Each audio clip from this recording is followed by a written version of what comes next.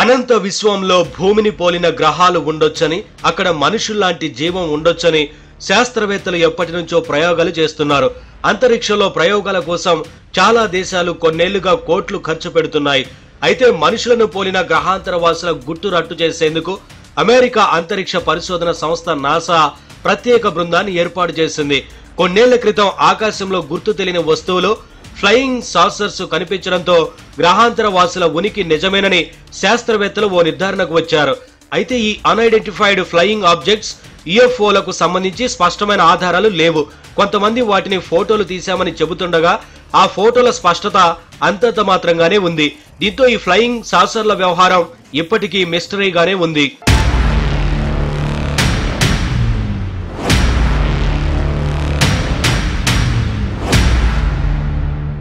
ఈ నేపథ్యంలో అసలు గ్రహాంతర వాసులు ఉన్నారా?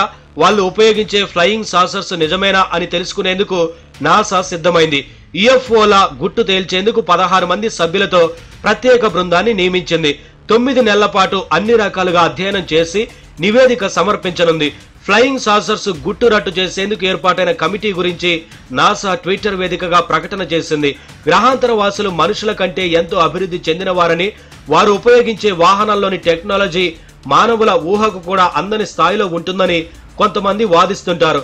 అయితే ఇప్పటిదాకా మిస్టరీగా ఉన్న ఈ యుఎఫ్ఓల గురించి అసలు నిజాలను త్వరలో నాసా బట్టబయలు చేయనుంది.